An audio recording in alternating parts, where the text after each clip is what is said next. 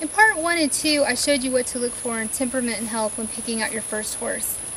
Now you need to find out how the horse is going to ride. This is a very important step because you want to have your ride time um, be fun and relaxing. You don't want to have a, a nerve-wracking experience every time you go out, not knowing what to expect from your horse. So what you want to do is have the owner of the horse saddle the horse up for you. Um, you want to watch everything he does. You want to watch him put on the, the saddle pad. You want to see him put on the, the uh, saddle. And you want to see him cinch the saddle. You also want to see him put the, the bit in the horse's mouth. Um, you, you, you want to have him do everything in front of you.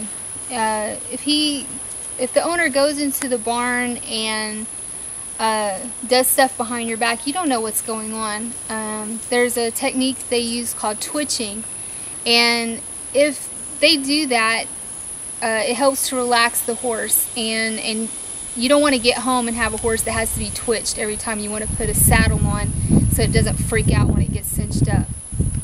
So um, you just want to keep your eye on everything that they're doing, and if you see them pinching their lip, you know they're twitch twitching the horse. So you want to uh, be aware of that little technique that, that they'll try to use sometimes. And you see she's very relaxed, her head's down. She's not stressed out about it. She is still alert, so you know, um, again, you want to make sure they're, they're not drugged up for any of this. You see her licking? That's a sign of being relaxed right there. You're going to ride the horse after you watch them ride. In a small space like a, a small round, round pen um, to be on the safe side in the beginning.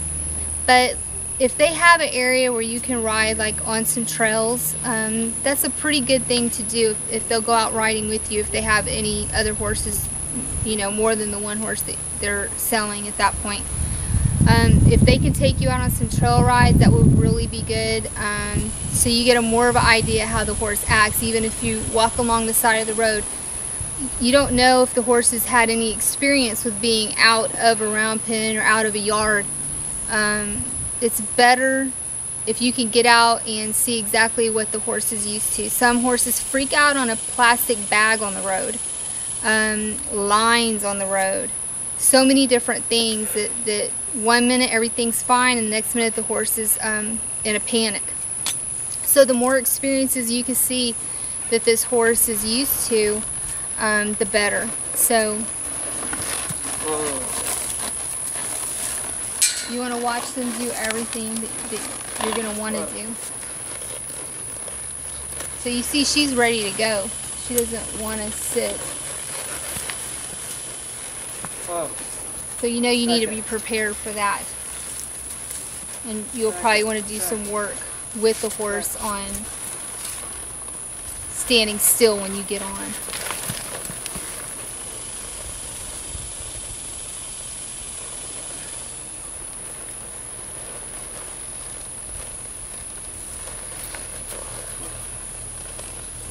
So you'll want to have them walk the horse around the pen.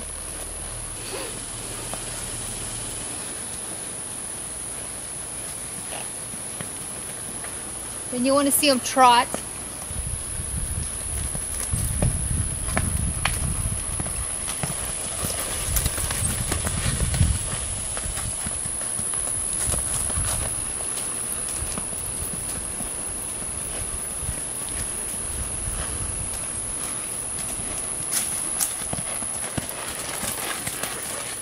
If you can get out of the round pen and get onto a trail ride where more things happen, such as uh, even a squirrel scurrying across um, the path or scurrying back in the woods, um, you'll get a lot more um, insight into how the horse is going to react to things.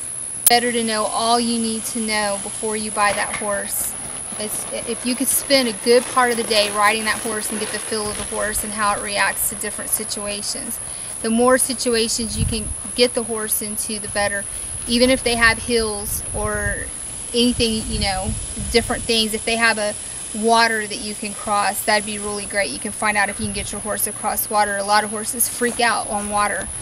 Um, a lot of horses will try to run down hills. So, you know, it's just better to have more experience um, by spending quite a bit of time with the horse.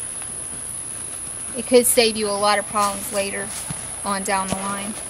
I hope that you like the videos and um, please subscribe. Thank you.